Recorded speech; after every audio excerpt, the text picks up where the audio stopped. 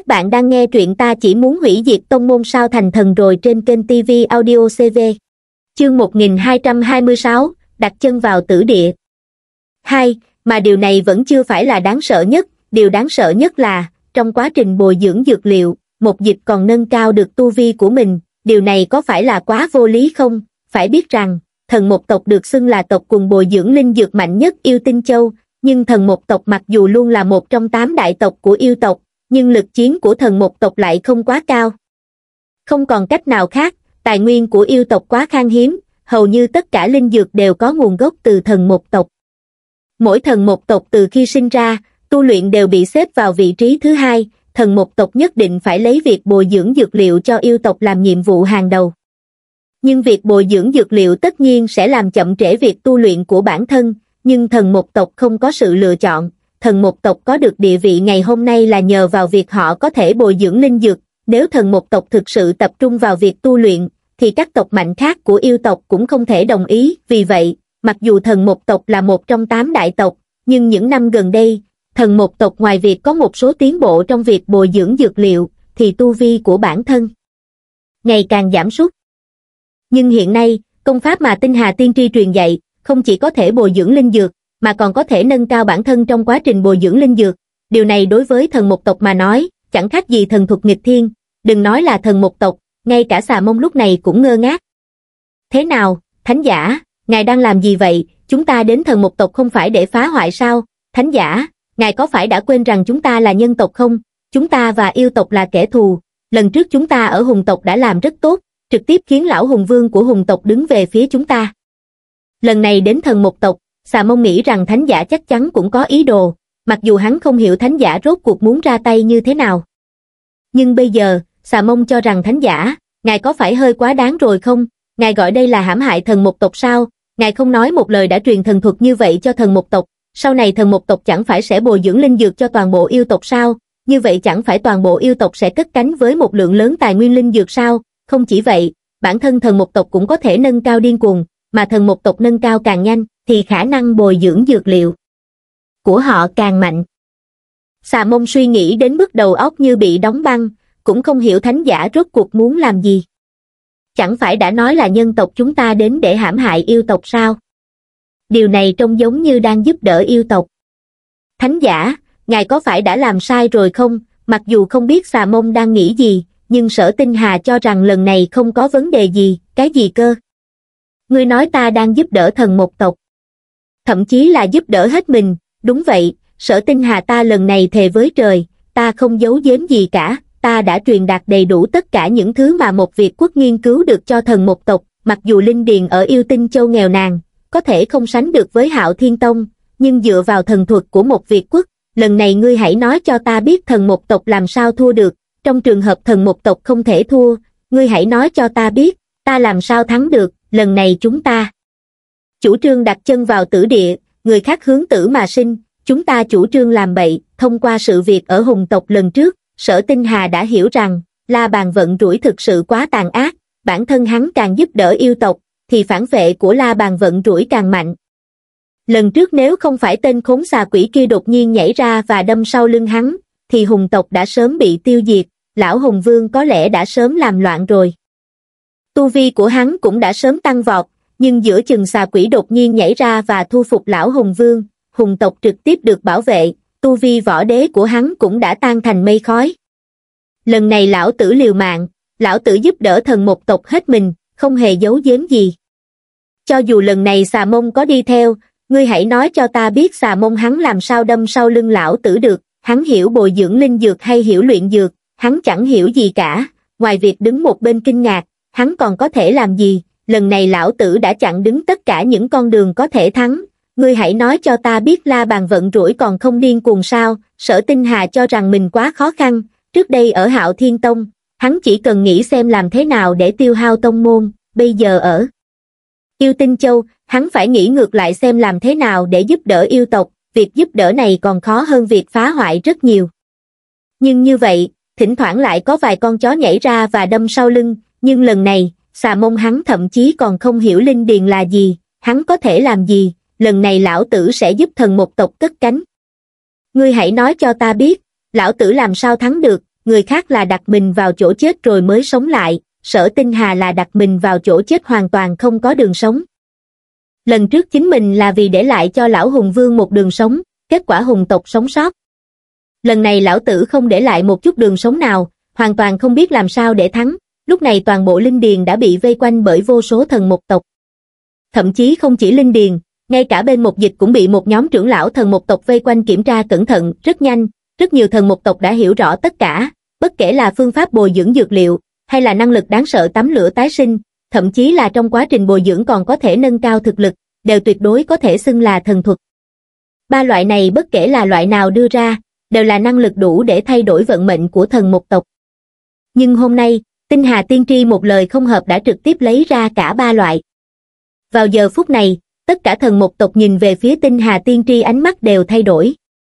Rất nhiều thần một tộc bày tỏ, Tinh Hà Tiên Tri vừa mới đến đây, mọi người nghe nói Tinh Hà Tiên Tri đến chỉ điểm bồi dưỡng linh dược đều sợ tè ra quần, chúng ta gọi ngươi một tiếng Tinh Hà Tiên Tri là cho ngươi mặt mũi, nhưng ngành nào cũng có chuyên gia ngươi có hiểu không? Chúng ta thần một tộc bồi dưỡng dược liệu là chuyên nghiệp, ngươi cho dù có được vu độc chi thuật, ngươi còn có thể vượt qua chúng ta thần một tộc ở phương diện bồi dưỡng dược liệu, nhưng hiện tại, thần một tộc từng người đều là nước mắt lưng tròng thủ đoạn của tinh hà tiên tri đã không còn là vấn đề vượt qua hay không vượt qua nữa. Đây quả thực là thần thuật có thể thay đổi vận mệnh của thần một tộc có thần thuật của tinh hà tiên tri. Dược liệu thần một tộc bồi dưỡng ra sợ là có thể tăng gấp trăm lần. Đây là khái niệm gì? Đây mặc dù còn chưa đủ cung cấp cho toàn bộ yêu tộc nhưng cũng đủ cho đại tộc tùy ý phá hỏng rồi. Trước đây yêu tộc là bởi vì tài nguyên nghèo nàn ăn một viên linh dược đều phải tính toán chi ly phàm là có thể dựa vào linh khí tuyệt đối không ăn linh dược nhưng hiện tại tăng gấp trăm lần, không nói là mở rộng cho ăn, tuyệt đối là nâng cao cực lớn rồi. Hơn nữa bản thân dược liệu còn biến thành linh dược, hiệu quả cũng là tăng vọt, cho dù bỏ qua những thứ này, thần thuật của tinh hà tiên tri đối với thần một tộc mà nói mới thực sự là năng lực có thể nghịch thiên cải mệnh. Sau này chúng ta thần một tộc chỉ cần bồi dưỡng dược liệu là có thể nâng cao tu vi, ngươi nói xem trên đời này còn có cái gì đáng sợ hơn cái này không, thần một tộc tộc trưởng một nhiên cẩn thận từng ly từng tí một đi đến trước mặt tinh hà tiên tri. Nhìn tinh hà tiên tri vẻ mặt bình tĩnh, một nhiên hành lễ với tinh hà tiên tri một lễ tiết cao nhất của thần một tộc, xin tinh hà tiên tri truyền thụ thần thuật cho thần một tộc ta, bất kể phải trả giá như thế nào, thần một tộc ta cũng nguyện ý, nghe tộc trưởng mở miệng, rất nhiều thần một tộc cũng chăm chú nhìn về phía tinh hà tiên tri. Không có gì nghi ngờ, Tất cả thần một tộc đều biết thần thuật của tinh hà tiên tri đại biểu cho cái gì, có thần thuật này, thần một tộc tất nhiên sẽ cuộc khởi, vì thần thuật này, thần một tộc bất kể phải trả giá bao nhiêu cũng cam tâm tình nguyện. Mặc dù vừa rồi tinh hà tiên tri đã truyền thụ cho một dịch một phần thần thuật, nhưng thần một tộc cũng biết, đó chẳng qua là truyền thụ tạm thời, không tính là toàn bộ thần thuật thật sự, thần một tộc muốn là toàn bộ thần thuật. Nhưng nghe được thần một tộc một lời không hợp đã nói có thể trả giá bất cứ giá nào, sở tinh hà đã gấp gáp ngay tại chỗ, cái gì là trả giá bất cứ giá nào. Ta vui vẻ giúp đỡ yêu hồ tinh hà trợ giúp yêu tộc từ trước đến nay không cầu hồi báo, ngay tại lúc rất nhiều thần một tộc vẻ mặt thấp thỏm chờ đợi, trong tay sở tinh hà đánh ra một đạo linh quang, tất cả các phương pháp bồi dưỡng dược liệu và phương pháp tu luyện toàn bộ đánh vào mi tâm của thần một tộc tộc trưởng một nhiên. Trong nháy mắt một nhiên đã hoàn toàn nắm giữ tất cả. Ngây ngẩn, vào giờ phút này toàn bộ thần một tộc đều ngây ngẩn, vốn dĩ thần một tộc đã chuẩn bị sẵn sàng tinh hà tiên tri sẽ đưa ra các yêu cầu, thậm chí thần một tộc lần này cũng liều mạng rồi, vì thần thuật này, thần một tộc chúng ta có thể cho bất cứ cái gì nhưng không ngờ tới, tinh hà tiên tri vậy mà không nói gì, trực tiếp truyền thừa thần thuật. Ngay tại lúc rất nhiều thần một tộc vẽ mặt mờ mịt, sở tinh hà đã mở miệng. Đã từng, hồ tộc ta là một trong những tộc quần mạnh nhất yêu tộc, tiên tri các đời càng là vô tư trợ giúp yêu tộc không cầu hồi báo. Năm tháng đổi thay, hồ tộc ta đi đến đỉnh cao, cũng rơi vào đáy cốc, nhưng hồ tộc ta chưa bao giờ dám quên lời tiên tri các đời lưu lại, hồ tộc chỉ cần còn một chút năng lực, thì nguyện ý thiêu đốt vì yêu tộc. Tinh Hà được truyền thừa của tiên tri các đời, nhưng Tinh Hà biết, đây là cơ hội của Tinh Hà càng là trách nhiệm của Tinh Hà, hôm nay thần thuật này đủ để thay đổi vận mệnh của toàn bộ yêu tộc ta, nếu Tinh Hà giấu riêng hoặc là dùng cái này để cầu cái khác, thử hỏi làm sao có thể xứng đáng với lời dặn dò của tiên tri các đời ta, thần một tộc và hồ tộc ta từ xưa đến nay chính là minh hữu, hôm nay có thể trợ giúp thần một tộc, là vinh quang của tinh hà, sao lại có yêu cầu gì, yên tĩnh, vào giờ phút. Này toàn bộ linh điền tất cả thần một tộc đều bị những lời này làm cho khiếp sợ. Một nhiên phản phất bị những lời này mang trở về thời thượng cổ. Thời đại đó, hồ tộc mạnh mẽ cỡ nào, nhưng cho dù là thời đại hồ tộc mạnh mẽ nhất, bọn họ cũng chưa bao giờ ức hiếp kẻ yếu, thậm chí tiên tri hồ tộc còn không ngừng trợ giúp các tộc quần. Toàn bộ yêu tinh châu từ trên xuống dưới, ai dám nói mình chưa từng được tiên tri hồ tộc trợ giúp, nhưng năm tháng đổi thay, sau khi hồ tộc mất đi tiên tri, mọi người ai chưa từng cười nhạo hồ tộc sau lưng, hồ tộc thậm chí từng bước trở thành trò cười của toàn bộ yêu tộc, ngay cả thần một tộc bọn họ trước đây cũng xem thường hồ tộc, thậm chí cảm thấy hồ tộc không xứng đáng tiếp tục ở lại trong bát đại tộc. Nhưng hôm nay, một nhiên xấu hổ đối mặt với tiếng cười nhạo của toàn bộ yêu tinh châu, tinh hà tiên tri không lựa chọn trả thù, cũng không có bất kỳ oán hận nào, tinh hà tiên tri lựa chọn đối đãi bằng nhân nghĩa, thật sự là nhân nghĩa vô song hồ tinh hà, mà một câu thần một tộc và hồ tộc từ xưa đến nay chính là minh hữu của tinh hà tiên tri càng là nói đến mức bản thân xấu hổ. Bởi vì tinh hà tiên tri nói không sai, ở thời đại hồ tộc đỉnh cao nhất, thần một tộc bất kể có khó khăn gì chỉ cần tìm được tiên tri hồ tộc, tiên tri hồ tộc chưa bao giờ từ chối. Nhưng sau đó hồ tộc sa sút vô số lần hồ tộc đến cửa cầu viện, thần một tộc lại là thoái thác kéo dài mà hôm nay, tinh hà tiên tri càng là đối với quá khứ thần một tộc không chấp nhặt, vẫn nguyện ý trợ giúp thần một tộc, nghĩ đến đây, một nhiên thậm chí không dám ngẩng đầu đối diện với tinh hà tiên tri.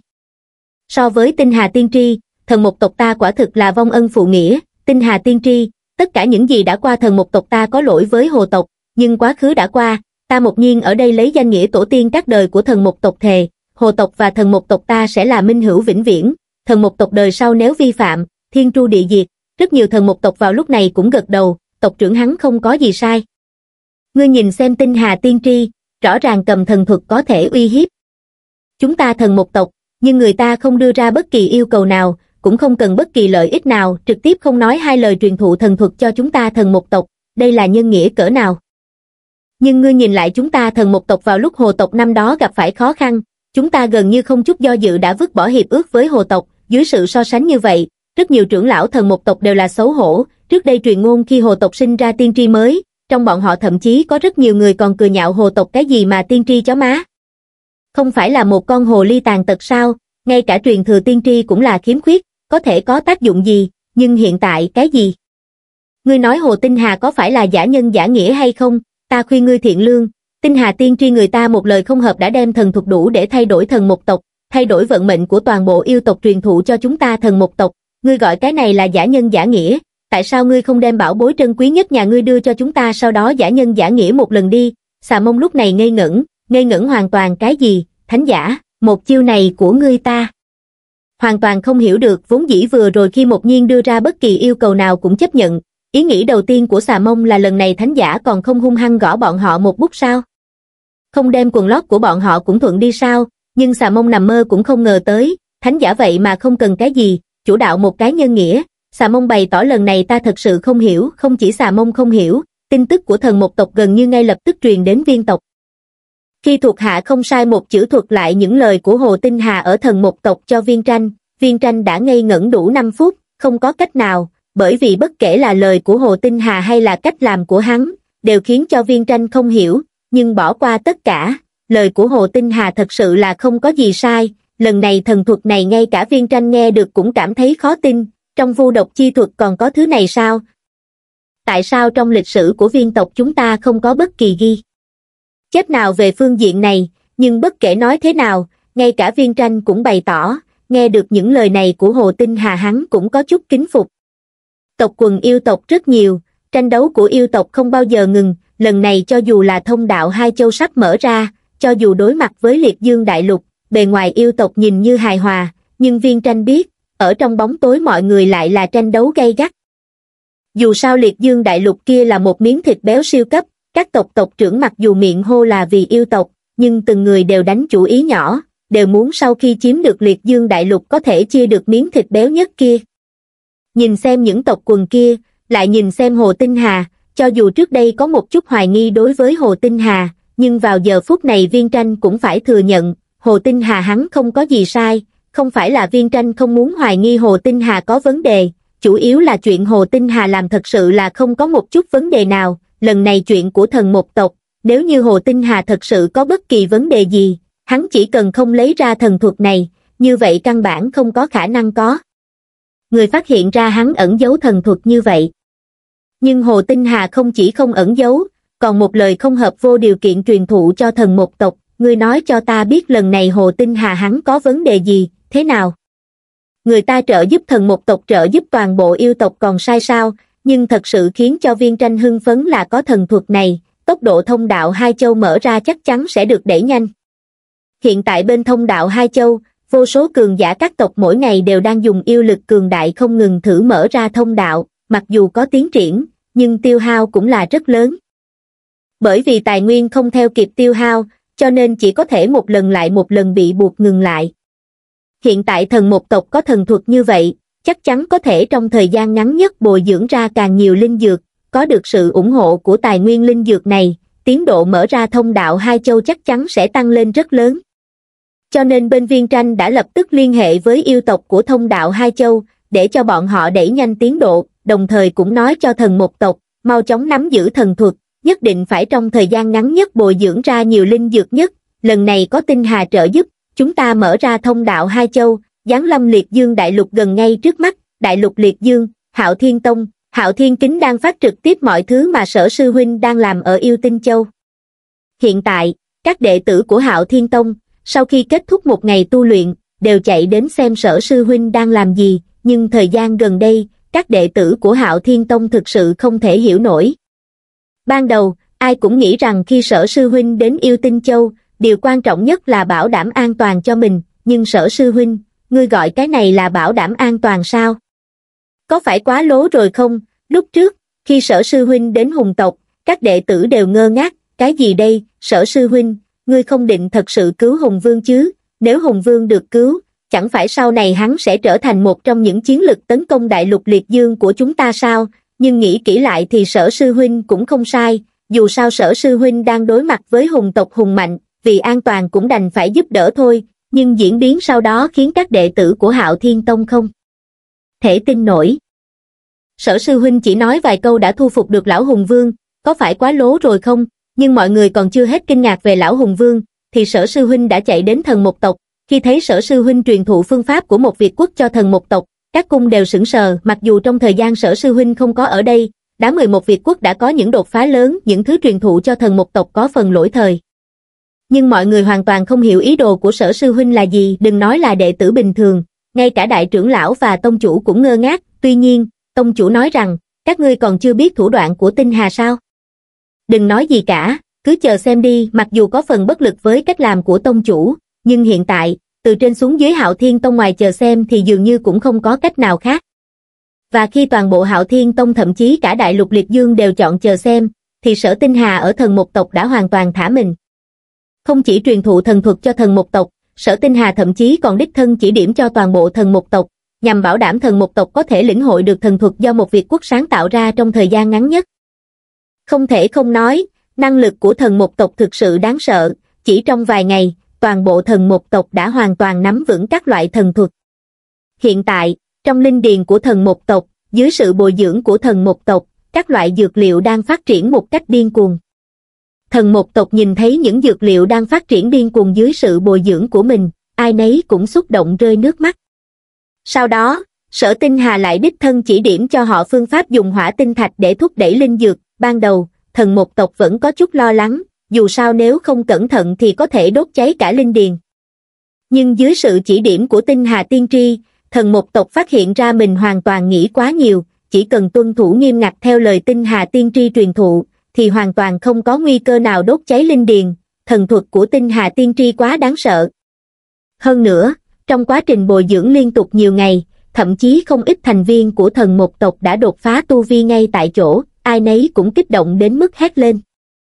Tất nhiên, trong lúc kích động, thần một tộc không quên ai đã mang lại cơ hội này cho họ, từng người một thề với trời, thần một tộc và hồ tộc sau này sẽ là đồng minh sắt đá, nếu tinh hà tiên tri cần, thần một tộc ta có chết cũng không từ, nhưng đối với sự cảm kích của thần một tộc, sở sư huynh đã dùng thực tế để nói với tất cả thần một tộc rằng, hắn tuyệt đối không phải là giả nhân giả nghĩa, từ đầu đến cuối, tinh hà tiên tri không nhận bất kỳ tài nguyên nào, thậm chí khi thần một tộc đến cảm ơn.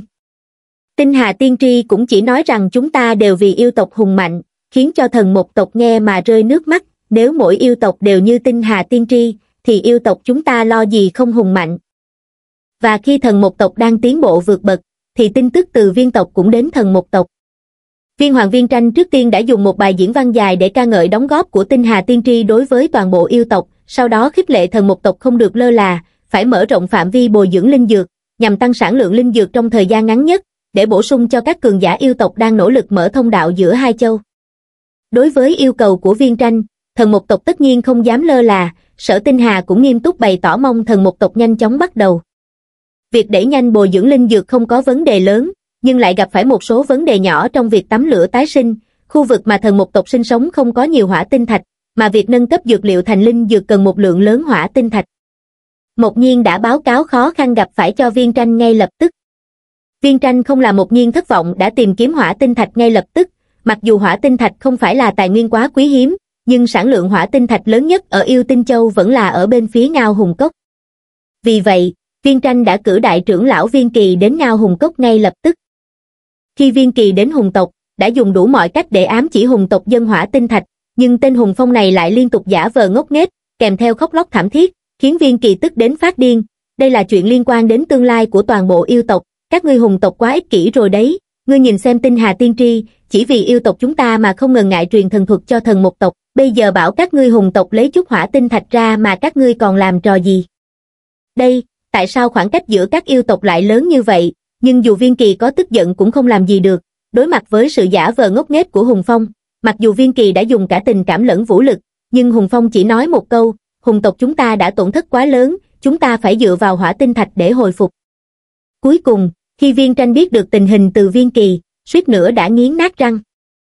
Lúc trước khi các ngươi hùng tộc bị tinh hà tiên tri chơi xỏ, ta viên tranh còn muốn bên vực các ngươi, không ngờ các ngươi hùng tộc lại là loại vô ơn vô nghĩa như vậy, các ngươi so với tinh hà tiên tri thì chẳng là cái gì cả, mặc dù tức giận, nhưng hùng tộc cũng là một trong tám đại tộc, lúc này viên tranh cũng không thể cướp đoạt công khai.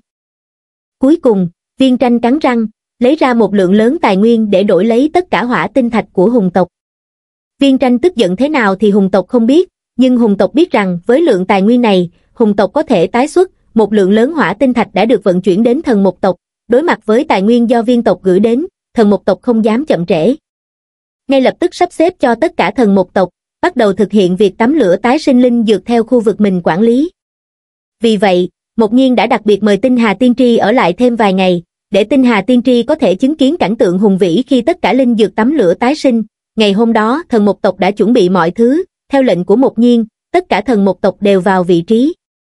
Sau đó, vô số hỏa tinh thạch phát ra ánh lửa rực sáng chiếu sáng toàn bộ linh điền của thần một tộc.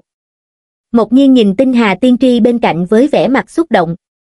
Một nhiên nói hôm nay chính là ngày thần một tộc cuộc khởi, không thể không nói, thần một tộc làm ra cảnh tượng thực sự hoành tráng, ánh lửa vô tận kéo dài đến tận chân trời, ngay cả sở tinh hà cũng hiếm khi thấy cảnh tượng như vậy, một lượng lớn linh dược bắt đầu biến dị sau khi hấp thụ sức mạnh của ngọn lửa từ hỏa tinh thạch, các loại linh dược có hiệu quả mạnh mẽ cũng lần lượt ra đời. Vô số thần một tộc nhìn thấy linh dược ra đời mà kích động đến mức hét lên nhưng đang hét lên thì hiện trường có vẻ không ổn, tiếng hét dần chuyển thành tiếng hét thảm thiết, cũng không biết vấn đề phát sinh từ đâu, một khu vực linh điền ở xa đột nhiên bị ngọn lửa bao trùm, nhưng ngọn lửa bao trùm linh điền này không dùng để thúc đẩy linh dược, mà trực tiếp đốt cháy linh dược, ngọn lửa bùng lên dữ dội, lan rộng ra xung quanh một cách điên cuồng chỉ trong chớp mắt, toàn bộ linh điền biến thành một biển lửa kinh hoàng, những linh dược chưa được thúc đẩy hay đã được thúc đẩy tốt, lúc này đều bị ngọn lửa thiêu rụi, linh điền của thần một tộc giờ đây không còn là linh điền nữa, mà là một biển lửa. Biến cố bất ngờ khiến toàn bộ thần một tộc rối loạn, nhưng lúc này đối mặt với biển lửa, một đám thần một tộc hoàn toàn không có khả năng dập lửa, dập bằng cách nào? Bảo một nhiên dùng dây leo cuốn quanh biển lửa, đó là dập lửa hay thêm lửa đây, tốc độ lan truyền của ngọn lửa nhanh đến kinh ngạc chỉ trong thời gian ngắn, toàn bộ linh điền của thần một tộc đã hoàn toàn trở thành một thế giới của ngọn lửa. Tất cả thần một tộc đã rút ra khỏi linh điền lúc này đều bị thiêu đến ngơ ngác, từng người một nhìn chầm chầm vào ngọn lửa kinh hoàng không thể kiểm soát được. Ngay khi toàn bộ linh điền bị thiêu rụi, ngọn lửa bùng lên dữ dội, một ánh sáng từ trận pháp truyền tống từ trên trời giáng xuống. Đại trưởng lão của viên tộc, viên kỳ, hôm nay thay mặt viên tranh đến xem tình hình linh điền. Lần này được tinh hà tiên tri giúp đỡ, sản lượng của linh điền thần một tộc tăng gấp trăm lần, viên kỳ không khỏi cảm thán một câu, trời phù hộ yêu tộc chúng ta, với lượng linh dược lớn như vậy, yêu tộc chúng ta nhất định có thể mở thông đạo giữa hai châu trong thời gian ngắn nhất, mặc dù biết rằng sản lượng sẽ tăng gấp trăm lần, nhưng viên tranh vẫn lo lắng sẽ có chuyện gì đó xảy ra, nên đã để viên kỳ thay mình đến thần một tộc giám sát. Viên kỳ nói rằng tộc trưởng à, ngươi cẩn thận quá rồi, ngươi. Nói xem có thể xảy ra chuyện gì, nhưng ngay khi viên kỳ theo ánh sáng của trận pháp truyền tống hạ xuống, vẻ mặt vui vẻ của viên kỳ lập tức đông cứng lại. Viên kỳ không dám tin vào mắt mình, một biển lửa, một biển lửa. Lúc này, toàn bộ linh điền bị bao phủ bởi biển lửa, tất cả linh dược đều bị thiêu rụi thành tro tàn. Viên kỳ cảm thấy trước mắt tối sầm lại, suýt nữa ngất xỉu tại chỗ. Nhưng viên kỳ biết rằng lúc này không phải là lúc để ngất xỉu, không hề do dự. Pháp tướng hiện ra sau lưng viên kỳ, một con thần viên khổng lồ bay vút lên trời. Pháp tướng này dường như có khả năng hô mưa gọi gió chỉ trong chớp mắt, vô số mây đen từ bốn phương tám hướng tụ lại, một trận mưa lớn từ trên trời trút xuống. Nhưng cảnh tượng mưa dập tắt lửa trong tưởng tượng không hề xuất hiện, đối mặt với cơn mưa từ trên trời rơi xuống, ngọn lửa dường như càng bùng cháy dữ dội hơn, viên kỳ ngơ ngác, nhưng lúc này viên kỳ không quan tâm đến những chuyện khác, pháp tướng thần viên từ trên trời giáng xuống, pháp tướng thần viên khổng lồ sử dụng chính mình làm cái giá để điên cuồng hấp thụ ngọn lửa dưới đất mặc dù ngọn lửa kinh hoàng bị thần viên hấp thụ vào trong pháp tướng, nhưng ngọn lửa này vẫn gây ra tổn thương lớn cho viên kỳ. Khi ngọn lửa bị hấp thụ hết, viên kỳ phun ra một nguồn máu già, sắc mặt ủ rũ. Ngọn lửa đã biến mất, nhưng lúc này linh điền của thần một tộc lại trở nên chết chóc. Tất cả những người có mặt đều nhìn chằm chằm vào linh điền bị thiêu rụi. Lúc này không còn linh dược, chỉ còn lại tro tàn, toàn bộ linh điền của thần một tộc chìm trong tĩnh lặng. Bất kể là thần một tộc hay viên kỳ vừa cứu hỏa giờ đây đều đờ đẫn nhìn linh điền trước mặt bị thiêu thành tro tàn. Một nhiên như mất hồn lao vào linh điền, điên cuồng bới những linh dược chỉ còn lại tro tàn, liên tục phát ra tiếng gào thét đau đớn. Viên kỳ đã choáng váng, hôm nay, viên kỳ thay mặt viên trừng đến, hắn muốn tận mắt chứng kiến linh điền bội thu, linh dược chất thành núi. Nhưng giờ đây, đúng là chất thành núi rồi, nhưng tất cả đều là tro tàn, đừng nói bọn họ, ngay cả sở tinh hà cũng choáng váng, lúc này sở tinh hà nhìn linh điền bị thiêu thành tro chỉ có một suy nghĩ, lần này, có vẻ thật sự tiêu đời rồi, linh điền này không chỉ là của riêng thần một tộc, mà gần như là của cả yêu tộc, trận hỏa hoạn hôm nay có lẽ đã thiêu rụi linh điền của cả yêu tộc. Nhưng đó chưa phải là điều quan trọng nhất, điều quan trọng là tất cả những chuyện hôm nay đều do chính mình sắp đặt, giờ đây linh điền của yêu tộc bị thiêu rụi, chẳng lẽ yêu tộc sẽ ăn thịt mình, vận rủi phản vệ lần này có phải quá dữ dội rồi không? Chẳng lẽ ngay cả ta cũng bị phản vệ? Khí vận, ngươi không định ra giải thích một chút sao? Đúng như suy nghĩ của sở tinh hà, lúc này viên kỳ vừa phản ứng lại, cũng không quan tâm đến vết thương trên người, đôi mắt đỏ ngầu nhìn chầm chầm sở tinh hà, nếu ánh mắt có thể giết người, sở tinh hà thề với trời, lúc này mình đã chết một ngàn tám trăm lần rồi. Hồ tinh hà, hủy linh điền của yêu tộc ta, ngươi rốt cuộc có ý đồ gì? Viên kỳ bước lên một bước, áp lực như núi cũng theo đó ập đến. Viên kỳ đại trưởng lão chớ vội, xà mông dù không phải đối thủ của viên kỳ, nhưng lúc này cũng phải cắn răng đứng ra chịu áp lực từ viên kỳ thay cho thánh giả. Nhưng áp lực thì chịu được, xà mông cũng choáng váng. Vì thánh giả, chiêu hôm nay ngài chơi có phải quá dữ dội rồi không? Nhưng xà mông biết mình không thể lùi bước. Nếu hôm nay thánh giả gặp bất cứ vấn đề gì, kết cục của thánh giả không biết ra sao, nhưng với tính cách của đại hiền giả xà tộc chắc chắn sẽ bị diệt. Xà mông tộc trưởng, ngươi tránh ra trước đi. Đang lúc xà mông suy nghĩ xem hôm nay nên xử lý mọi chuyện thế nào, sở tinh hà lên tiếng. Viên kỳ đại trưởng lão, cũng xin tạm nguôi giận, chuyện hôm nay quả thực có điều kỳ lạ. Hồ tinh hà ta lương tâm không hổ thẹn, thuộc pháp ta truyền cho thần một tộc trước đây đã nhiều lần kiểm chứng, tuyệt đối không thể có bất kỳ vấn đề gì. Lời sở tinh hà vừa dứt, một nghiêng bên cạnh cũng theo phản xạ gật đầu. Dù sao thần một tộc cũng không phải kẻ ngốc, sau khi nhận được thần thuật việc đầu tiên thần một tộc làm không phải trực tiếp đốt cả linh điền, mà là chia thành từng khu nhỏ để thử nghiệm. Chỉ trong vài ngày ngắn ngủi, thần một tộc đã thử nghiệm đến cả trăm lần, quả thực không có bất kỳ vấn đề gì. Nhưng vấn đề là, giờ đây cả linh điền đã bị hủy hoàn toàn, rốt cuộc vấn đề ở đâu? Phản ứng của một nhiên khiến viên kỳ tạm thời kìm nén cơn giận dữ trong lòng, nhưng nếu hôm nay hồ tinh hà không thể đưa ra lời giải thích hợp lý, thì dù hắn có là tiên tri, yêu tộc cũng tuyệt đối không tha cho hắn dưới ánh mắt của thần một tộc và viên kỳ, sở tinh hà bước vào linh điền bắt đầu xem xét những linh dược bị thiêu hủy, nhưng những linh dược này đã sớm bị thiêu thành tro, muốn tìm ra manh mối nào đó từ trong đống tro tàn này là hoàn toàn không thể. Đang lúc sở tinh hà tự nhủ chẳng lẽ hôm nay thật sự tiêu đời rồi sao, thì hắn nhìn thấy một viên hỏa tinh thạch phát ra ánh sáng đỏ trong một linh điền, theo phản xạ, hắn nhặt viên hỏa tinh thạch từ trong linh điền lên, nhưng khi vừa chạm vào viên hỏa tinh thạch sở tinh hà nhận ra có điều không ổn dường như đây không phải hỏa tinh thạch mà là loại đá đi kèm với hỏa tinh thạch hỏa vân thạch hỏa tinh thạch dù là hệ hỏa, nhưng bản thân hỏa tinh thạch có thuộc tính tương đối ôn hòa, vì vậy lực. Lượng lửa do hỏa tinh thạch phát ra có thể được linh dược hấp thụ. Nhưng hỏa vân thạch thì khác, hỏa vân thạch và hỏa tinh thạch trông gần như không có gì khác biệt, ngoài việc nhìn kỹ có thể thấy một số vân mây nhỏ không đáng kể, còn lại gần như giống hệt nhau. Nhưng hỏa vân thạch và hỏa tinh thạch lại có sự khác biệt rất lớn, lực lượng lửa của hỏa vân thạch rất dữ dội, thuộc loại lửa cực kỳ khó kiểm soát, vì vậy cũng không thể được linh dược hấp thụ. Lúc này nhìn thấy hỏa vân thạch, sở tinh hà kích động suýt nửa nhảy cẩn lên, ta đã nói rồi, tình huống này vốn không nên xảy ra mà. Phương pháp bồi dưỡng linh dược do một Việt quốc nghiên cứu ra đã được Thái Hạo Tông kiểm chứng hàng trăm lần. Cái gì cơ, ngươi nói có phải do diện tích quá lớn nên mất kiểm soát không? Chút đất của thần một tộc, chẳng lẽ còn lớn hơn linh điền của Thái Hạo Tông chúng ta? Ngươi đến Thái Hạo Tông mà xem, đám người một Việt quốc ngày nào cũng khiến linh điền của Thái Hạo Tông lửa cháy ngút trời, bọn họ đã từng thử nghiệm ở những khu linh điền có diện tích rất lớn rồi. Những nơi đó chưa từng xảy ra bất kỳ sự cố nào, chẳng lẽ đến yêu tộc lại xảy ra sự cố, vì vậy ngay từ đầu sở tinh hà đã cảm thấy có vấn đề, nhưng không biết vấn đề ở đâu, giờ đây sở tinh hà đã biết, vấn đề không nằm ở phương pháp của hắn, mà ở chỗ hỏa tinh thạch đã bị thay thế bằng hỏa vân thạch. Sở tinh hà cầm hỏa vân thạch đến trước mặt viên kỳ đại trưởng lão, mặt lạnh như kho lạnh, giao hỏa vân thạch cho viên kỳ đại trưởng lão, đồng thời lên tiếng. Viên kỳ đại trưởng lão hãy xem, đây vốn không phải hỏa tinh thạch, trong lô hỏa tinh thạch này có lẫn hỏa vân thạch, mà ngọn lửa của hỏa vân thạch dữ dội như vậy, làm sao linh dược có thể hấp thụ được. Chính những viên hỏa vân thạch này đã châm ngòi cho linh điền, lời sở tinh hà vừa dứt, tất cả yêu tộc có mặt tại hiện trường đều ùa đến vây quanh. Viên kỳ đại trưởng lão nhìn chầm chầm vào viên hỏa vân thạch trong tay với vẻ mặt kinh ngạc, gần như ngay lập tức, viên kỳ đại trưởng lão đã hiểu chuyện gì đã xảy ra, hùng tộc, kẻ chủ mưu lần này không phải là tiên tri tinh hà trước mặt, mà là hùng tộc, vì lô hỏa tinh thạch này được mua từ hùng tộc, toàn bộ quá trình mua bán tiên tri tinh hà thậm chí còn không hỏi đến, thậm chí tiên tri tinh hà còn không biết lô hỏa tinh thạch này đến từ hùng tộc. Vì vậy viên kỳ biết, những viên hỏa vân thạch này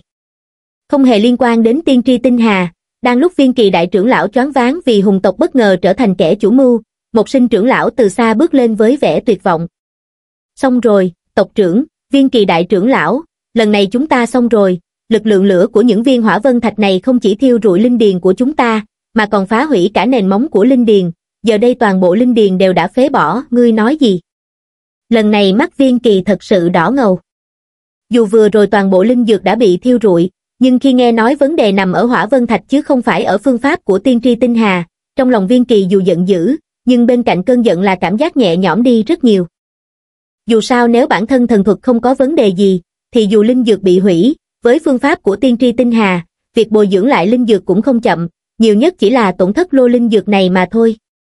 Nhưng giờ đây nghe nói nền tảng của linh điền đã bị phá hủy, mắt viên kỳ đại trưởng lão tối sầm suýt nửa ngã lăn ra đất. Linh điền của thần một tộc là linh điền duy nhất của toàn bộ yêu tinh châu, cũng là linh điền được thần một tộc gây dựng qua bao thế hệ, giờ đây linh điền bị hủy, toàn bộ yêu tinh châu không còn tìm đâu ra một linh điền lớn như vậy, ngươi nói xem, không có linh điền, thì thần thuật của tiên tri tinh hà lợi hại đến mấy có ích gì, đây giống như ngươi có trong tay hạt giống và kỹ thuật có thể sản xuất ra vàng, tưởng rằng mình sắp giàu to, kết quả là không có đất để trồng, viên kỳ đại trưởng lão không?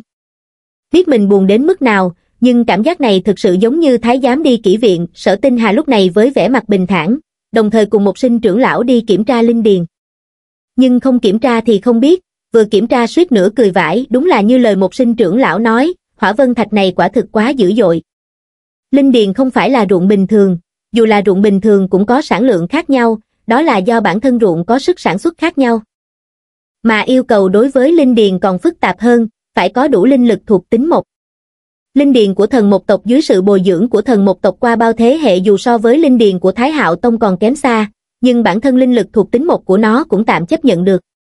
Nhưng trận hỏa hoạn này không phải lửa bình thường, đây là ngọn lửa dữ dội do hỏa vân thạch gây ra.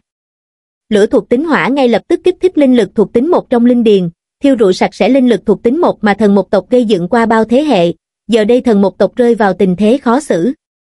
Thần thuật do sở tinh hà đưa ra không có bất kỳ sai sót nào, vấn đề là, ngay cả một mảnh đất cũng không có, ngươi nói xem thần thuật có tác dụng gì, sở tinh hà nhìn một sinh trưởng lão bên cạnh đã khóc đến mức tê liệt, cũng vội vàng lên tiếng an ủi. Một sinh trưởng lão chớ bi phẫn như vậy, dù linh điền đã mất, nhưng có thần thuật, thần một tộc vẫn có thể từ từ khai khẩn linh điền, ta cũng có một số biện pháp đặc biệt trong việc khai khẩn linh điền, ta đã tính rồi, khoảng 800 năm nữa, các ngươi chắc chắn có thể khai khẩn lại linh điền. Nhưng sở tinh hà không an ủi thì thôi, vừa an ủi, toàn bộ thần một tộc đều khóc đến tê liệt cái gì cơ, khoảng 800 năm nữa, 800 năm nữa thần một tộc chúng ta còn tồn tại không, không có linh điền, thần một tộc chúng ta còn làm được gì, một nhiên tộc trưởng càng trực tiếp chạy đến trước mặt viên kỳ, nắm chặt cánh tay viên kỳ đại trưởng lão. Viên kỳ đại trưởng lão, hùng tộc không chỉ cắt đứt gốc rễ của thần một tộc chúng ta, mà còn cắt đứt cả gốc rễ của toàn bộ yêu tộc. Viên kỳ đại trưởng lão hãy làm chủ cho thần một tộc chúng ta, viên kỳ đại trưởng lão hãy làm chủ cho thần một tộc chúng ta, hùng tộc muốn hủy diệt gốc rễ của cả yêu tộc, thần một tộc ta không đội trời chung với hùng tộc, được sở tinh hà an ủi, lúc này thần một tộc được an ủi đến mức mắt rỉ máu, thần một tộc chúng ta sắp cất cánh rồi, một chân đã rời khỏi mặt đất, kết quả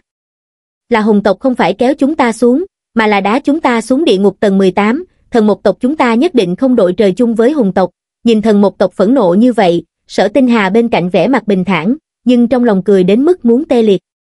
Lần này ngươi nói xem hùng tộc có chết không, ngươi xem mặt viên kỳ đại trưởng lão đã xanh rồi, lần này nếu hắn không diệt cả hùng tộc, thì cũng có lỗi với thần một tộc bị hãm hại. Cái gì cơ, ngươi nói lần này là sở tinh hà ta hãm hại thần một tộc, ta khuyên ngươi nên thiện lương, trời đất nhật nguyệt đều có thể chứng giám. Sở tinh hà ta từ đầu đến cuối đều giúp đỡ thần một tộc, sở tinh hà ta là một người cao thượng, một người đã thoát khỏi những thú vui tầm thường, ta được xưng là trợ thủ của yêu tộc, làm sao có thể hãm hại yêu tộc, loạn rồi, toàn bộ thần một tộc lúc này đã loạn cả lên, tất cả thần một tộc thề với trời, lần này sẽ cùng hùng tộc không chết không thôi, ai dám cản thì lôi cả bọn chúng vào cuộc, ngươi nói hùng tộc thế lớn. Ngươi tưởng thần một tộc ta chỉ đùa giỡn thôi sao, thần một tộc ta giỏi bồi dưỡng. Linh dược, nhưng chúng ta cũng giỏi điều khiển một chi linh, lực chiến của chúng ta không yếu, lần này hùng tộc hủy diệt căn cơ của thần một tộc ta, thần một tộc ta tuyệt đối không bỏ qua cho chúng, sở tinh hà cũng ở bên khuyên can, một nhiên tộc trưởng đừng kích động, mặc dù cả yêu tinh châu đều biết hùng tộc căm ghét hồ tinh hà ta, nhưng lúc này hồ tinh hà cũng phải nói vài lời cho hùng tộc. Hùng tộc cùng thần một tộc các ngươi vô oán vô cừu, bọn họ không có lý do gì để hãm hại thần một tộc các ngươi.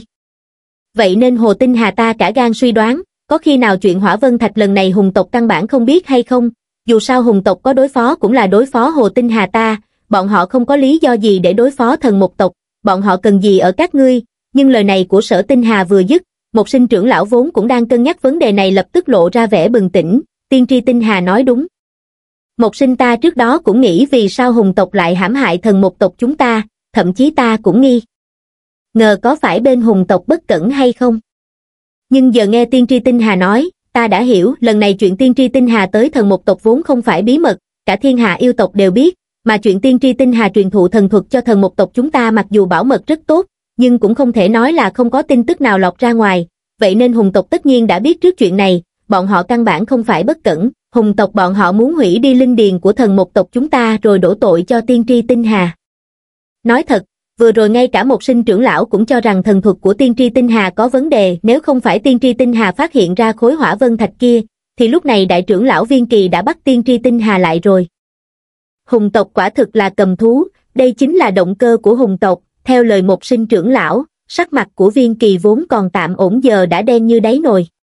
Thực sự, một sinh trưởng lão nói đúng, vừa rồi viên kỳ cũng suy nghĩ vấn đề này, hùng tộc làm như vậy vì cái gì, vậy nên có phải là ngoài ý muốn hay không, nhưng giờ viên kỳ hiểu rồi, đây không phải ngoài ý muốn, đây là hùng tộc cố ý, hùng tộc à hùng tộc, lần trước viên kỳ ta ở trong hùng tộc các ngươi, tất cả những gì tiên tri tinh hà làm căn bản không có vấn đề gì, ngoài ý muốn sau đó cũng thực sự là ngoài ý muốn. Nhưng hùng tộc các ngươi lại dám làm ra tội ác tày trời như vậy, đầu óc hùng tộc các ngươi là cơm cháo hết rồi sao, các ngươi dù muốn đối phó tiên tri tinh hà, cũng không thể lựa chọn phương pháp này chứ, các ngươi muốn đoạn tuyệt căn cơ của cả yêu tộc chúng ta sao, đến nước này, lửa giận của viên kỳ đã đạt đến cực hạn, cả về tình lẫn lý hắn cũng không thể bỏ qua cho hùng tộc. Lần này linh điền của thần một tộc bị hủy, trong vòng 800 năm yêu tộc coi như không có linh dược để dùng, điều này khiến yêu tộc vốn đã khan hiếm tài nguyên càng thêm khốn đốn, mà hùng tộc là kẻ đầu tiêu, lần này có thiên vương lão tử đến cũng không cứu được chúng, hùng tộc phạm tội này đủ để diệt tộc, sở tinh hà không biết viên kỳ giận dữ cỡ nào, nhưng vừa rồi sở tinh hà đã hỏi xà mông, lần này ngươi cứ nói xem hùng tộc có diệt hay không là được rồi. Đối với vấn đề của thánh giả, xà mông không chút do dự bày tỏ hùng tộc chết chắc, tội nghiệp nặng nề như vậy, cho dù không đồ tận giết tuyệt toàn bộ hùng tộc, thì những cường giả của hùng tộc cũng tất nhiên bị tru sát, cho dù có một số hùng tộc có thể sống sót, thì trên lý thuyết hùng tộc cũng coi như xong, sau này chỉ có thể trở thành một tiểu tộc không đáng chú ý trong yêu tộc. Nghe xà mông nói xong, trong đầu sở tinh hà đã bắt đầu tự động phát bài, vận may đến, cảm ơn hùng tộc lão thiết hiến thân, hôm nay một bài, vận may đến, gửi tặng hùng tộc lão thiết, hy vọng hùng tộc lão thiết sau khi lên đường, kiếp sau cũng có vận may đến, có hùng tộc lão thiết hiến thân như vậy, tu vi võ đế của sở tinh hà ta đã chắc chắn rồi, lần này lão tử căn bản không biết thua kiểu gì nữa. Hùng tộc lấy sức một mình hủy diệt toàn bộ linh điền của yêu tộc, tin tức này truyền ra ngoài, yêu. Tộc chẳng phải sẽ nổ tung sao, ngươi cứ nói xem hùng tộc có chết hay không là được rồi, la bàn vận rủi. Chuẩn bị cất cánh, viên kỳ đã giận dữ đến cực hạn không chút do dự, trực tiếp lên tiếng, một nhiên tộc trưởng, lần này hùng tộc hủy diệt căn cơ của yêu tộc chúng ta, nếu hùng tộc không diệt, thì thiên lý ở đâu? Tôn nghiêm của yêu thần ở đâu? Làm sao bình ổn được lửa giận của thiên hạ yêu tộc? Một nhiên tộc trưởng cứ yên tâm, ta sẽ lập tức trở về viên tộc dân tấu lên viên hoàng, viên tộc ta sẽ đích thân ra tay tiêu diệt hùng tộc, kẻ phá hủy căn cơ của yêu tộc chúng ta. Một nhiên cảm tạ viên kỳ đại trưởng lão, cảm tạ viên kỳ đại trưởng lão, toàn thể thần một tộc cuối mình hành lễ với viên kỳ đại trưởng lão. Ánh mắt của viên kỳ đại trưởng lão lại một lần nữa nhìn về phía sở tinh hà, chỉ thấy viên kỳ đại trưởng lão đột nhiên cúi người hành lễ với sở tinh hà rồi nói, tiên tri tinh hà, chuyện hôm nay viên kỳ lỗ mãn, suýt nữa đã trách nhầm tiên tri tinh hà gây ra đại họa. Mong tiên tri tinh hà lượng thứ. Viên kỳ đại trưởng lão nói đùa rồi, trong tình huống vừa rồi đừng nói viên kỳ đại trưởng lão, ngay cả bản thân tinh hà cũng nghi ngờ có phải vấn đề do ta hay không, vậy nên viên kỳ đại trưởng lão không sai, ngược lại tinh hà phải cảm tạ viên kỳ đại trưởng lão đã minh oan cho ta, ôi, nói ra thì, lúc này tinh hà cũng khó chối tội, nếu không phải một sinh trưởng lão nói rõ, tinh hà cũng không nghĩ tới, hùng tộc vì hãm hại ta mà lại mất hết tính người như vậy. Tiên tri tinh hà không cần tự trách, lần này ngươi truyền thụ thần thuật cho thần một tộc có gì sai? Sai là ở chỗ hùng tộc, lũ cầm thú này bị vô tri che mờ đôi mắt. Lúc này thông đạo giữa hai châu sắp mở ra, tất cả yêu tộc đều đang nỗ lực vì thông đạo giữa hai châu, hùng tộc lại dám hủy diệt căn cơ của yêu tộc chúng ta, quả thực là mất hết tính người, sở tinh hà cũng vội vàng gật đầu tỏ ý viên kỳ đại trưởng lão nói rất đúng, nhìn thấy biểu hiện của viên kỳ đại trưởng lão, sở tinh hà biết, lần này, hùng tộc chắc chắn xong rồi, sở tinh hà vừa tính toán xem khoảng chừng nào thì hùng tộc bị diệt, chừng nào thì tu vi võ đế của mình có thể về tài khoản, vừa nhìn về. Phía xà mông, thấy xà mông không có động tác gì, sở tinh hà khẽ gật đầu, lần này chỉ mang theo xà mông không mang theo xà khôi là đúng, nếu không biết đâu tên khốn xà khôi kia có lại đâm mình một đao nữa hay không, nhưng ngay khi sở tinh hà gật đầu, xà mông vẫn không nói gì đột nhiên nhảy ra. Viên kỳ đại trưởng lão đừng vội, ta có một kế, còn chưa đợi sở tinh hà kịp phản ứng, xà mông đã nói ra kế hoạch của mình. Xà mông bày tỏ, lần này những gì hùng tộc làm có thể nói là tội ác tày trời, không diệt hùng tộc tuyệt đối là trời đất không dung. Nhưng hùng tộc dù sao cũng là một trong tám đại tộc của yêu tộc chúng ta, mặc dù mất đi lão hùng vương thì thực lực của hùng tộc giảm mạnh, nhưng lực chiến của hùng tộc vẫn còn đó. Hiện tại thông đạo giữa hai châu sắp mở, nếu như lúc này tru diệt hùng tộc, thì cũng sẽ gây ra tổn thất nhất định cho yêu tộc chúng ta. Vậy nên xà mông ta cả gan đề nghị, chi bằng chúng ta đổi một cách nghĩ, lão hùng vương có thể bị xà tộc chúng ta nô dịch. Vậy thì những thành viên khác của hùng tộc có thể bị chúng ta nô dịch hay không? Chúng ta không giết hùng tộc thì không giải được mối hận trong lòng, nhưng giết đi lại khiến yêu tộc tổn thất. Nhưng để toàn bộ hùng tộc cho xà tộc chúng ta nô dịch, như vậy hùng tộc đã bị trừng phạt, sau này có xà tộc ta giám sát, hùng tộc chắc chắn không thể có ý đồ gì khác. Hơn nữa lực chiến của hùng tộc vẫn còn. Như vậy chẳng phải vẹn cả đôi đường sao, lời xà mông vừa dứt, viên kỳ vốn đầy giận dữ cũng mắt sáng lên. Không thể không nói, lần này những gì hùng tộc làm, diệt tộc là không tránh khỏi, nhưng mặc dù viên kỳ phẫn nộ, hắn cũng biết, diệt hùng tộc đối với yêu tộc cũng là một tổn thất không nhỏ. Nhưng tội của hùng tộc không thể tha thứ, cho dù yêu tộc tổn thất cũng phải diệt bọn chúng. Nhưng hiện tại phương pháp mà xà mông đưa ra khiến viên kỳ cảm thấy có chút thú vị. Trực tiếp đánh toàn bộ hùng tộc lên ấn ký u xà, như vậy toàn bộ hùng tộc đã trở thành nô bộc của xà tộc, chẳng phải hùng tộc đã chịu trừng phạt rất lớn rồi sao, mà trong khi hùng tộc chịu trừng phạt, thì lực chiến của hùng tộc vẫn được bảo lưu, mặc dù trở thành nô bộc của xà tộc, nhưng vẫn có thể được yêu tộc chúng ta sử dụng. đồng thời có xà tộc giám sát bọn họ, hùng tộc cũng không dám làm ra bất cứ chuyện gì nữa. Ngươi nói như vậy chẳng phải thực lực của xà tộc sẽ tăng mạnh sao? Viên kỳ hoàn toàn không để ý, thực lực của xà tộc rất mạnh, cộng thêm lão hùng vương trước đó càng khiến thực lực của xà tộc tăng mạnh. Nhưng cho dù bây giờ cộng thêm cả hùng tộc, thì xà tộc cũng tuyệt đối không thể có chút uy hiếp nào với viên tộc. Thậm chí nếu lần này giao hùng tộc cho xà tộc nô dịch, thì xà tộc nhất định sẽ cảm kích viên tộc, sau này chẳng phải cũng phải đi gần với viên tộc hơn sao, vậy nên đề nghị của xà mông tộc trưởng không có vấn đề gì, không chỉ giải quyết được vấn đề xử lý hùng tộc thế nào, bình ổn được lửa giận, còn có thể bảo lưu lực chiến của hùng tộc giúp đỡ yêu tộc trong tương lai, hơn nữa xà tộc còn có thể tiến xa hơn với viên tộc, đây là kết quả mà mọi người đều vui vẻ. Đương nhiên, ánh mắt của viên kỳ vẫn nhìn về phía thần một tộc, lúc này người bị tổn thương lớn nhất chính là thần một tộc, vậy nên cũng phải xem thần một tộc có đồng ý hay không. Còn về đề nghị của xà mông, thần một tộc vốn sống chết không đồng ý, hùng tộc không diệt thần một tộc ta quyết không bỏ qua.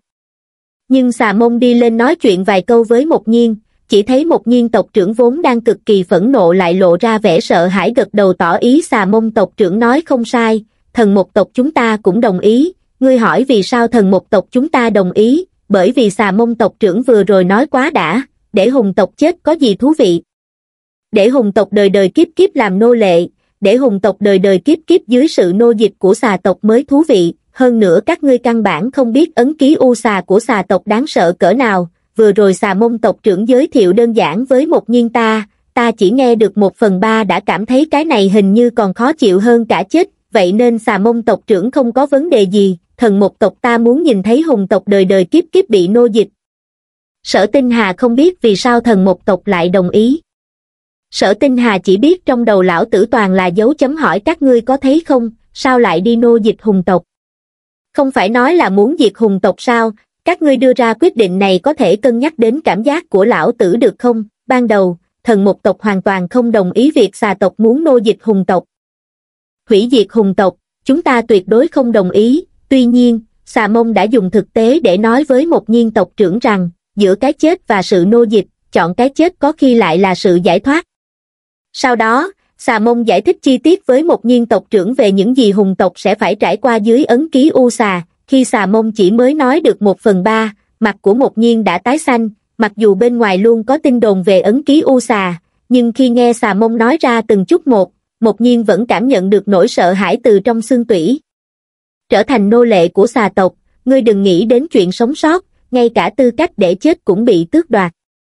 Ngươi sẽ mãi mãi bị xà tộc nô dịch, cho dù ngươi đã chết, thân xác của ngươi cũng sẽ bị xà tộc nô dịch, cho đến khi thân xác ngươi hoàn toàn mục nát, nhưng ngay cả khi thân xác đã mục nát, xà tộc cũng sẽ luyện chế thân xác ngươi thành bảo vật để tăng cường sức mạnh cho xà tộc, sau đó tiếp tục bị xà tộc sử dụng. Đó mới chỉ là cơ bản nhất, một số thủ đoạn của xà tộc mà một nhiên nghe xong cũng không biết phải diễn tả như thế nào. Quá tà ác, ấn ký u xà của xà tộc các ngươi thực sự quá tà ác, cái này còn độc ác hơn cả cái chết, nếu nói đến tàn nhẫn thì chỉ có xà tộc các ngươi mới thực sự tàn nhẫn, vì vậy, một nhiên không chút do dự đồng ý để xà tộc nô dịch hùng tộc, thấy thần một tộc cũng đồng ý, viên kỳ cũng gật đầu theo, đồng thời nhìn về phía xà mông nói, đề nghị của xà mông tộc trưởng quả là không tồi, nếu xà tộc có thể nô dịch hùng tộc, không chỉ giữ được sức mạnh của hùng tộc, mà chắc chắn còn có thể đóng góp nhiều. Hơn cho yêu tộc chúng ta, viên kỳ đại trưởng lão hãy yên tâm, xà tộc chúng ta là vệ sĩ trung thành nhất của thánh giả, xà tộc chúng ta chưa bao giờ quên quyết tâm chiến đấu vì thánh giả, nghe xà mông nói vậy, viên kỳ nở nụ cười. Vừa rồi viên kỳ hỏi xà tộc có thể đóng góp nhiều hơn cho yêu tộc hay không, thực ra là một sự thử thách, là hỏi xem xà tộc có trở thành đồng minh trung thành của viên tộc hay không. Xà mông trả lời rằng họ là vệ sĩ trung thành của thánh giả, hoàn toàn không có chút dối trá nào, đó là lời thật từ tận đáy lòng. Ai cũng biết, các tộc khác đều gọi yêu thần là yêu thần, chỉ có viên tộc gọi yêu thần là thánh giả. Vì vậy, khi xà mông nói đến thánh giả, chẳng phải là chỉ yêu thần sao, hơn nữa, xà mông còn cố ý dùng từ thánh giả, chẳng phải là muốn nói rằng họ và viên tộc là người một nhà sao, viên kỳ hài lòng gật đầu, tỏ ý sẽ bẩm báo với viên hoàng, lần này hùng tộc chắc chắn sẽ giao cho xà tộc nô dịch, viên kỳ mang theo sự hài lòng rời đi, xà mông thì vui mừng không xiết đến bên thánh giả bày tỏ, thánh giả, lần này chúng ta lời to rồi. Chúng ta không chỉ bắt được hùng vương, mà bây giờ toàn bộ hùng tộc cũng sẽ bị chúng ta nô dịch, chúng ta lời quá rồi, lúc này, xà mông thực sự khâm phục thánh giả, lần này đến thần một tộc, một loạt hành động của thánh giả đều khiến ta kinh ngạc, ta hoàn toàn không đoán được thánh giả định làm gì, ngài đột nhiên truyền thụ thần thuật cho thần một tộc, ta nhìn thấy họ liên tục bồi dưỡng linh dược mà ngơ ngác, thánh giả, ngài làm như vậy, chẳng phải là yêu tộc sẽ mạnh lên sao? Nếu yêu tộc lợi dụng lượng lớn linh dược này để mở thông đạo giữa hai châu lục, thì thánh giả. Sinh linh của liệt nhật đại lục chúng ta sẽ bị tàn sát, nhưng khi xà mông đang ngơ ngác hỏi thánh giả rốt cuộc ngài định làm gì, thì sự việc lần này đã khiến xà mông choáng váng. Phản ứng đầu tiên của xà mông là lần này chúng ta tiêu đời rồi nhưng những gì xảy ra tiếp theo đã khiến xà mông sững sờ cái gì cơ?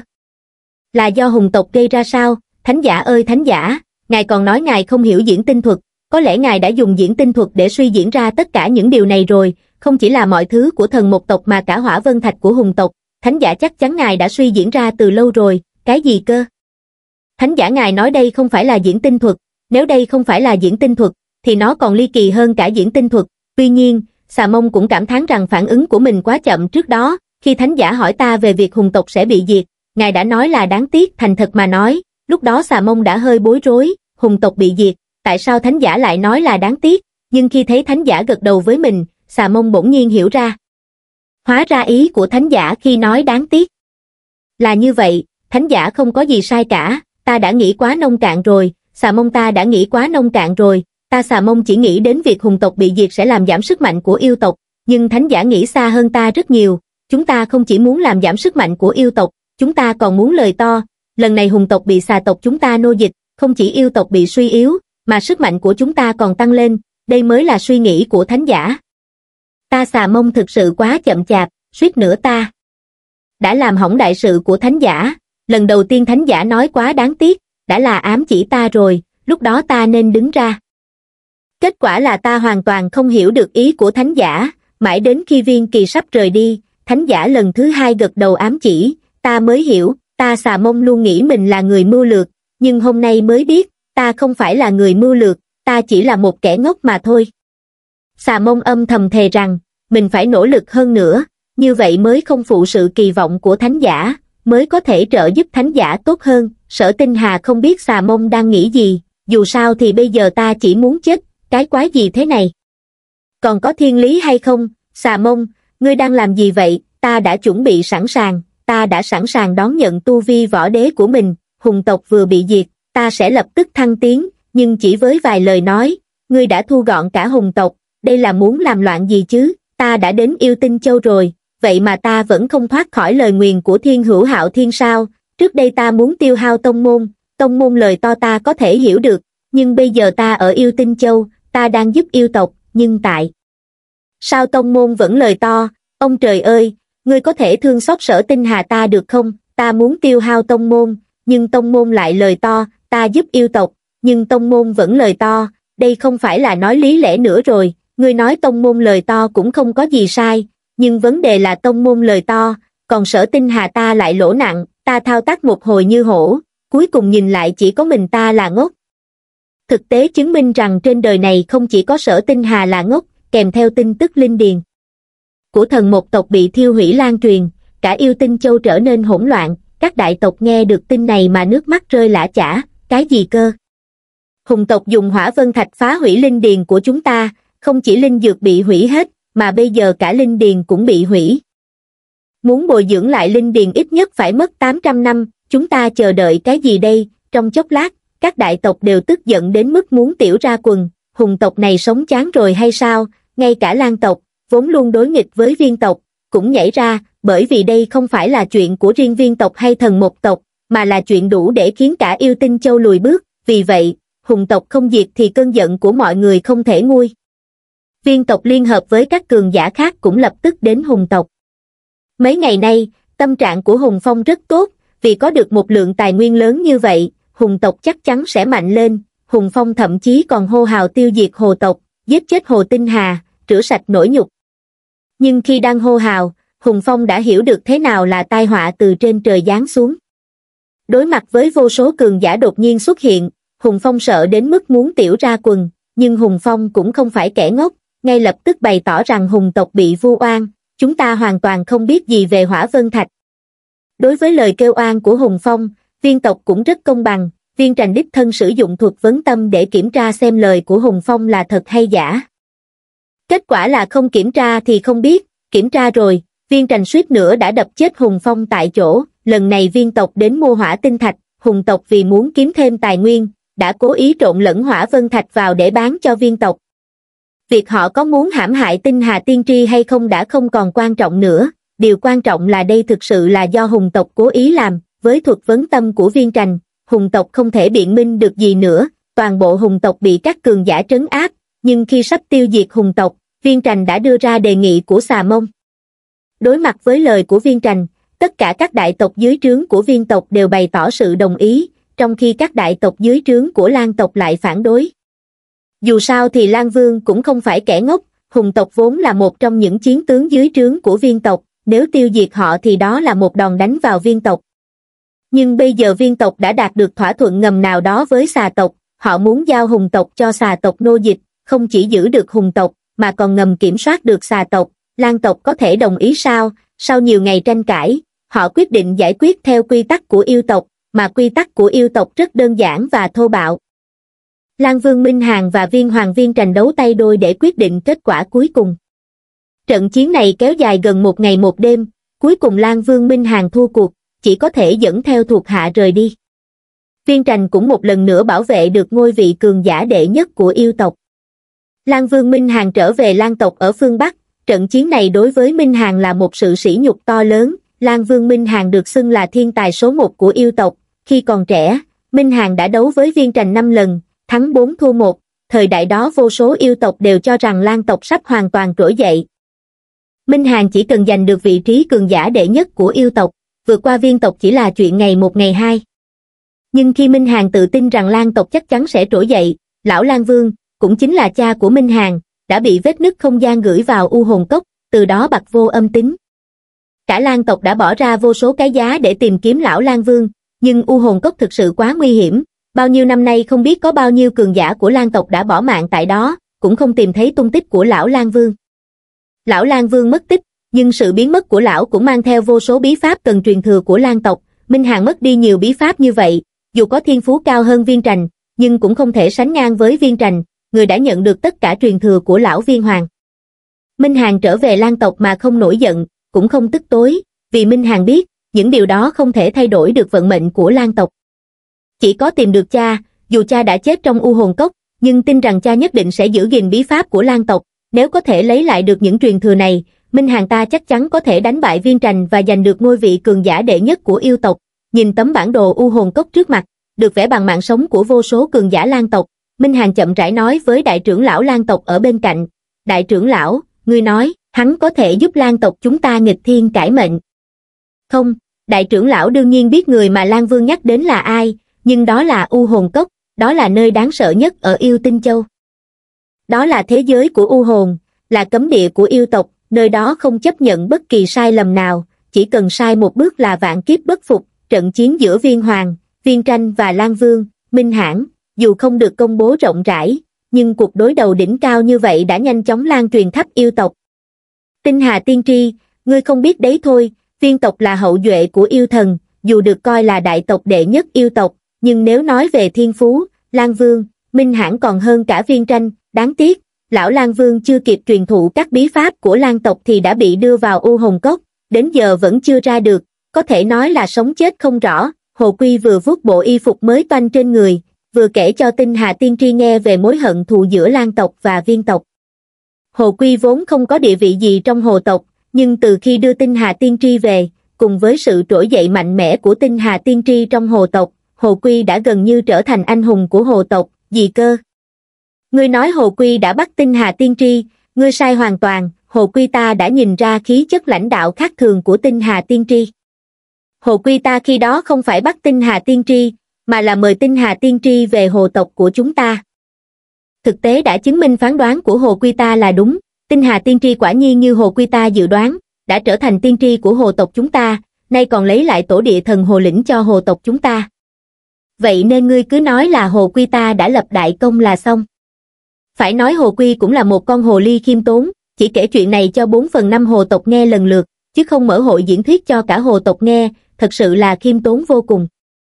Tinh Hà Tiên Tri, ngươi không biết đâu, những năm qua Lan tộc đã phái không biết bao nhiêu cường giả vào U Hồn Cốc để tìm tung tích của lão Lan Vương, nhưng lão Lan Vương cứ như đã biến mất trong U Hồn Cốc, đến cả bóng dáng cũng không thấy, Lan tộc tuy mạnh, nhưng sức mạnh của U Hồn lại khắc chế yêu tộc chúng ta bẩm sinh. Nếu là U Hồn bình thường thì Lan tộc có thể ứng phó được, nhưng ở sâu trong U Hồn Cốc toàn là những U Hồn mạnh mẽ còn sót lại từ thời thượng cổ, dù là Lan tộc vào đó cũng là chính chết một sống, đó cũng là lý do tại sao U Hồn Cốc được coi là cấm địa của yêu tộc chúng ta. Ây da, ta nói những cái này làm gì, tinh hà tiên tri ngươi vốn đến từ U Hồn Cốc, những thứ này chắc ngươi đều biết rồi. Sở tinh hà với vẻ mặt bình thản gật đầu ý nói ngươi nói những cái này ta tất nhiên biết rồi, tiễn hồ quy đi rồi, sở tinh hà nhận ra mình đã phát hiện ra một chuyện kinh khủng, yêu tộc sợ U Hồn, dù vừa rồi rất muốn hỏi hồ quy tại sao yêu tộc lại sợ U Hồn, nhưng mình là người từ U Hồn Cốc đi ra, đi hỏi Hồ Quy chẳng phải là nói cho Hồ Quy biết mình là hàng giả sao, nghĩ đi nghĩ lại, sở tinh hà quyết định đi hỏi xà mông. Tuy nhiên hai ngày nay xà tộc đang bận tối mắt tối mũi. Sau khi viên tranh đánh bại Lan Vương, số phận của hùng tộc cũng đã được định đoạt. Viên kỳ đại trưởng lão đã thông báo hình phạt lần này cho hùng tộc ngay lập tức.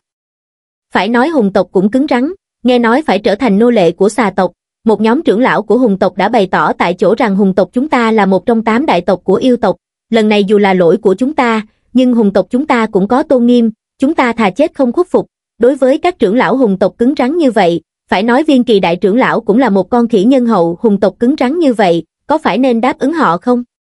Sau đó viên kỳ đại trưởng lão đã dùng thực tế để cho hùng tộc thấy, hắn viên kỳ tuyệt đối là một con khỉ nhân hậu. Đối với lựa chọn thà chết không khuất phục của hùng tộc, hắn sẵn sàng đáp ứng họ sau khi tiễn vài vị trưởng lão cứng rắn lên đường, hùng tộc đã im lặng. Viên kỳ đại trưởng lão còn tuyên bố tại chỗ, đến đây, nhân lúc ta viên kỳ còn nhân hậu, ai còn cứng rắn, ta tiễn lên đường cùng luôn. Lần này hùng tộc hoàn toàn im lặng, hùng phong khóc lóc nước mắt nước mũi tèm lem trước mặt viên kỳ đại trưởng lão, cầu xin viên kỳ đại trưởng lão xin tha cho hùng tộc. Hùng tộc không muốn làm nô lệ nhưng đối với lời của hùng phong, viên kỳ đại trưởng lão suýt nữa đã tác chết cái tên rùa con này. Hùng tộc các ngươi còn mặt mũi ở đây khóc lóc sao, các ngươi hủy đi linh điền của cả yêu tộc, cũng có nghĩa là hùng tộc các ngươi đã khiến cho cả yêu tộc chúng ta sau này sẽ không có linh dược nữa. Ít nhất trong 800 năm tới chúng ta sẽ không có bất kỳ nguồn cung cấp linh dược nào, hùng tộc các ngươi đã làm suy yếu lực lượng chiến đấu của cả yêu tộc chúng ta, lần này đã cho các ngươi sống là ân huệ lớn lao của viên hoàng rồi, còn muốn xin tha. Các ngươi đang nói cái gì vậy, viên kỳ cũng không nói nhiều, trực tiếp cho hùng tộc hai lựa chọn, một là cả tộc lên đường, hai là trở thành nô lệ của xà tộc, nếu các ngươi chọn diệt tộc, ta sẽ tiễn các ngươi lên đường ngay bây giờ, nếu các ngươi chọn làm nô lệ, vậy thì hùng tộc các ngươi cố gắng cống hiến cho yêu tộc chúng ta, tương lai có ngày nào đó chưa chắc không thể trở lại vòng tay của yêu tộc, thoát khỏi thân phận nô lệ. Hùng tộc dù kêu gào thảm thiết, nhưng cuối cùng vẫn đưa ra lựa chọn, dù làm nô lệ không có chút tôn nghiêm nào, nhưng đúng như câu lưu được núi xanh lo gì thiếu củi đốt, hùng tộc ta hôm nay dù làm nô lệ, nhưng một ngày nào đó hùng tộc ta nhất định sẽ thoát khỏi thân phận nô lệ, trở lại vòng tay của yêu tộc, Hùng Phong chưa bao giờ nghĩ mình lại có thể nhục nhã như vậy, trở thành nô lệ của xà tộc, trên đời này còn có chuyện gì nhục nhã hơn thế không? Nếu thấy hay thì nhớ like và đăng ký kênh để ủng hộ mình nha.